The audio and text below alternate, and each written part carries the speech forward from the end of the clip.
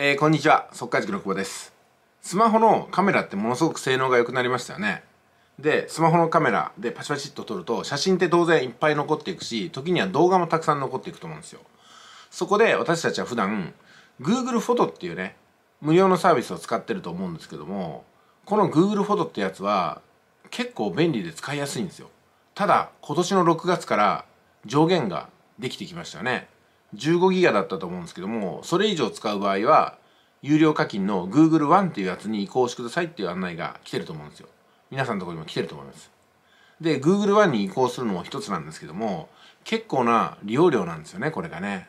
まあ、ですんでなんとかこれを無料で使えないかってことで考えたのが今回のメンバーシップ情報倉庫の中の方法になります、えー、非常に使いやすくて簡単でございます。動画とか写真をたくさん撮られる方は是非この方法を用いていただきたいんですけども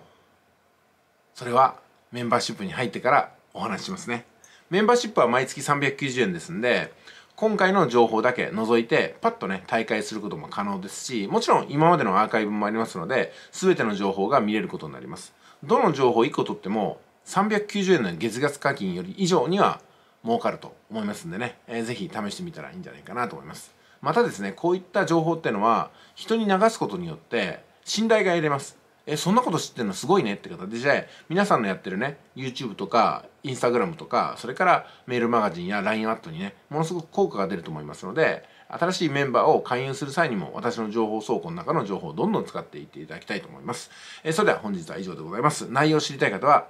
メンバーシップにご参加ください。よろしくお願いします。